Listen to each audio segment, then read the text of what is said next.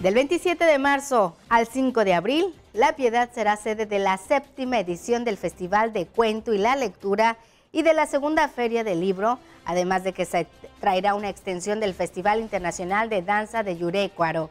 Los tres eventos artístico-culturales tendrán como sede la plaza principal, a los cuales se espera una asistencia al menos de los días hábiles, que de entre 400 a 600 alumnos por día, sin contar con la presencia de la población abierta que asista. El director de la promoción económica, Juan Carlos Guzmán, explicó que se tienen programadas diversas actividades cuyo propósito principal es fomentar la lectura.